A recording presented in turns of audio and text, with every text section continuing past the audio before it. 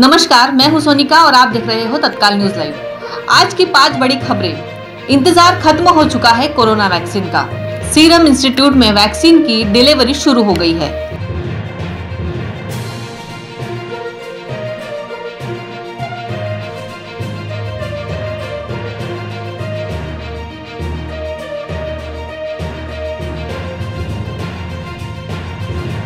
कृषि कानून को लेकर किसान आंदोलन पर आज बड़ा फैसला होने वाला है।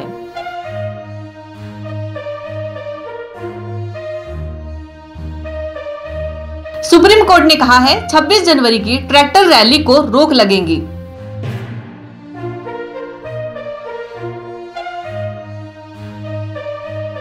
दस राज्यों में बर्ड फ्लू का बड़ा प्रभाव, अलर्ट जारी। रायबरेली से आप विधायक एमएलए सोमनाथ भारती गिरफ़्तार।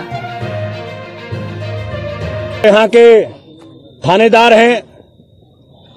उनके नेतृत्व में भरी, भारी पुलिस बल के साथ मुझे रोकने का प्रयत्न किया गया। साथ में एक गुंडा को लाया गया।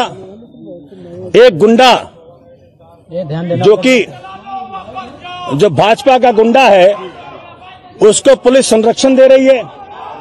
और उस गुंडे को आगे करके पुलिस ने मेरे ऊपर काली स्याही फिकवाई, कानूनों का धज्जे उड़ाने वाले योगी के इशारे पर यह सारा काम हो रहा है। इससे उत्तर प्रदेश की जनता के सामने साफ़ साफ़ मैसेज जा रहा है कि योगी के अंदर गुंडा राज है और गुंडे राज में कोई भी सुरक्षित नहीं है।